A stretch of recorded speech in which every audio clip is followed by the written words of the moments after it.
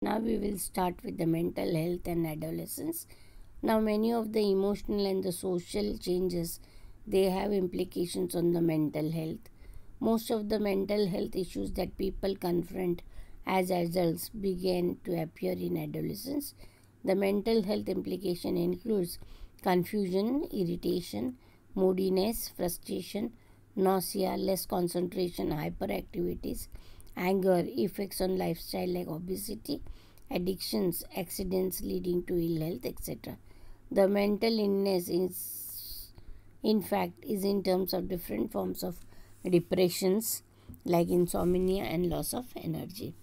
आता mental health आणि ॲडोलिसन्समध्ये जे इमोशनल आणि सोशल चेंजेस आहेत त्यांचा इफेक्ट आपल्या मेंटल हेल्थवर होतो जे मेंटल हेल्थ इश्यूज आहेत जे लोकांना ॲडल्ट म्हणून जे सुरुवात होतात ते ॲक्च्युली ॲडोलिसन्समध्ये सुरुवात होते.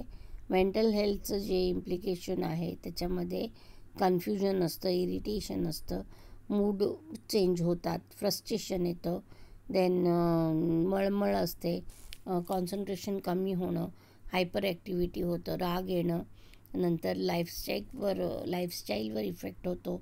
जसं स्थूलपणा येतो ॲडिक्शन होतं एखाद्या गोष्टीची सवय होते. ॲक्सिडेंट्स होऊ शकतात आणि त्यामुळे इल हेल्थ होऊ शकते. ओके सो मेंटल इलनेस जर बघितलं आपण तर वेगवेगळ्या फॉर्म डिप्रेशनचे फॉर्म्समध्ये होऊ शकतो. जसं झोप न लागणं आणि एनर्जी लॉस होणं. दस मेंटल इलनेस और disorders or unfavourable changes is associated with psychological or behavioural manifestation and they are classified into either psychosis or neurosis.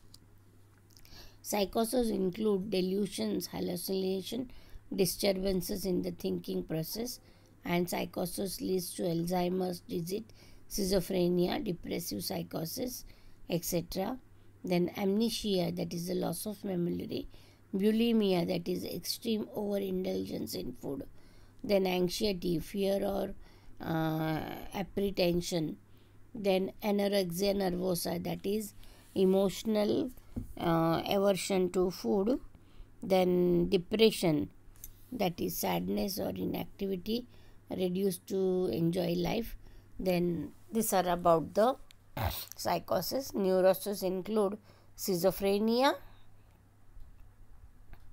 then illusions and hallucinations. Mental जे इलनेस आहेत किंवा जे unfavourable changes किंवा जे disorders आहेत ते psychological किंवा बिहेवियरल गोष्टीबरोबर ॲसोशिएट केले जातात.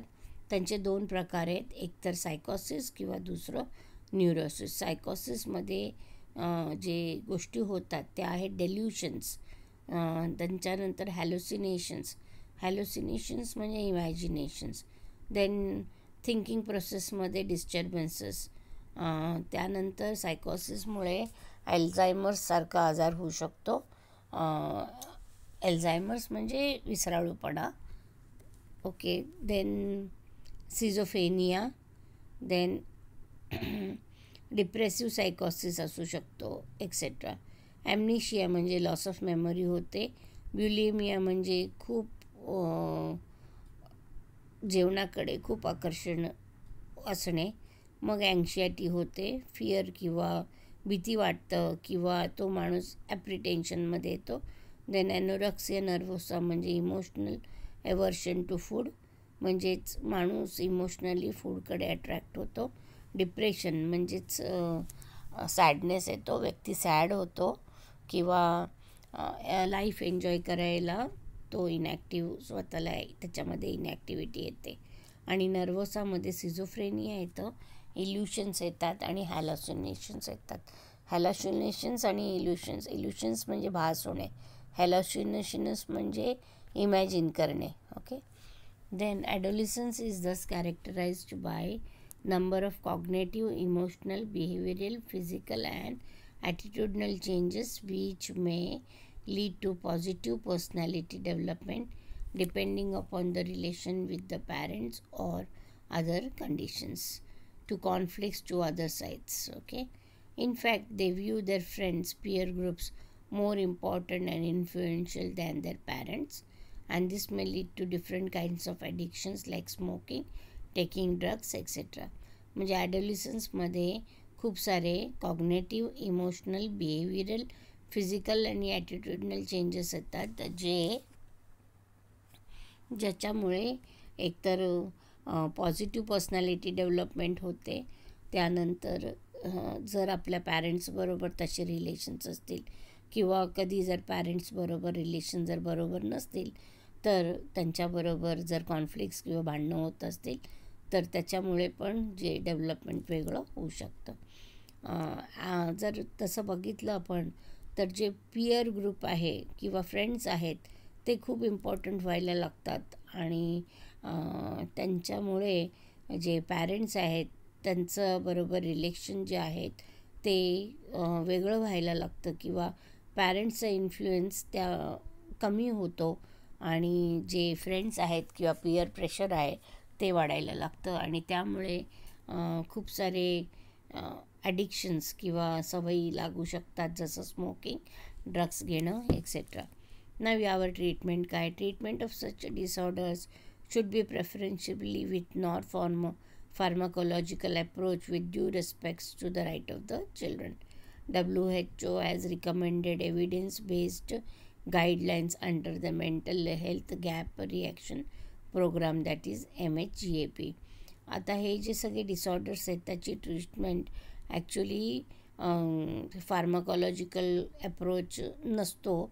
म्हणजेच औषधांनी होत बरं होत नाही आहे ओके पण मुलांचं राईट्स काय आहे हे पण समजवायला पाहिजे.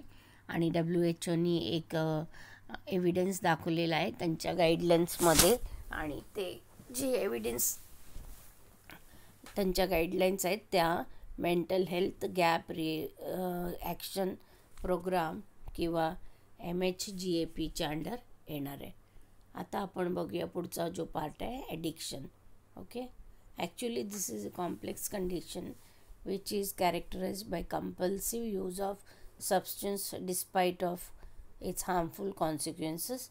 Addiction may involve the use of substances that is drugs like alcohol, alcohol opi opioids, cocaine, nicotine and other uh, and others or behaviors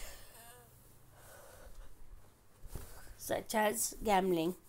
Now there is a scientific evidence that this that the addictive behavior share uh, addictive behaviors share key neurological features and they intensely involve the brain pathways of reward and reinforcement affecting the motivation uh, which involve the neurotransmitter dopamine it is important to know that the neurological changes are reversible after the substance use or behavior is discontinued okay म्हणजे काय addiction overall results in the impairment of the physical psychological and physiological functions of the body addictions म्हणजे काय तर एखाद्या व्यक्तीला सवय लागते कुठल्याही गोष्टीची किंवा त्या गोष्टीकडे तो ॲट्रॅक्ट होतो आणि मग नंतर त्याला त्याच्याशिवाय राहता येत नाही.